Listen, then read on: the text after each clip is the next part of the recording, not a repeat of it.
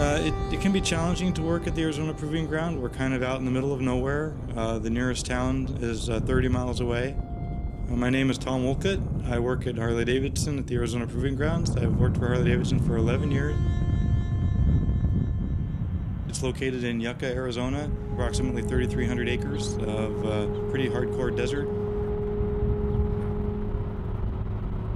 Uh, we test here because of the extreme weather conditions. High temperatures, obviously.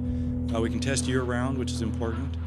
Uh, we don't have to worry about snow and that sort of thing. The other th nice thing about the desert is that we get very low temperatures. In the winter, we can get temperatures down into the 20s, uh, so we can get some low temperature testing done as well. But the real important thing is the high temperature testing. For example, in, in the development of a bike like the Street Glide, uh, we would have uh, tested the vehicle under a wide variety of conditions and handling conditions. We would do you know, literally hundreds of thousands of miles of durability testing to make sure that the suspension and the frame design are capable of providing our customers with a safe and stable ride throughout their ownership. In the testing of Harley-Davidson products at the Arizona Proving Ground, we try to simulate a lot of worldwide climates by doing uh, corrosion testing where we put the vehicles uh, inside a, a, humidity chamber at high temperature and high humidity in conjunction with salt spray and operating over some rough environments uh, just to help simulate more worldwide conditions that would be experienced in, uh, in climates where there's a lot of rain or corrosive environments like a salt or a, coastal city.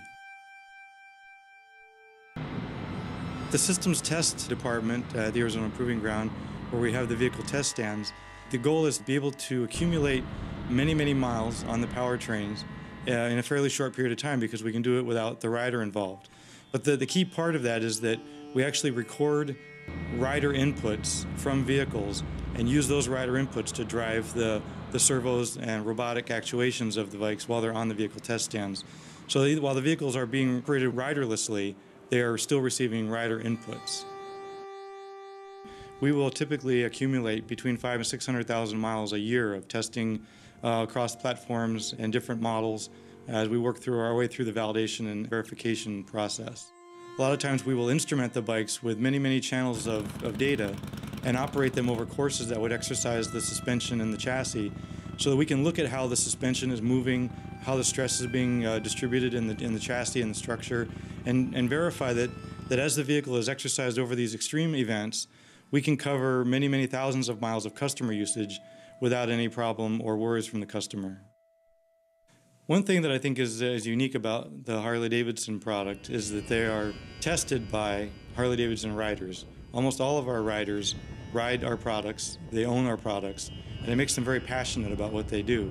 So they're, they're able to go out and ride these bikes day to day, ride six and a half hours a day, do all the paperwork in the heat, in the cold, in the rain, and they do it because they love it and because they want to push the brand forward to the next level.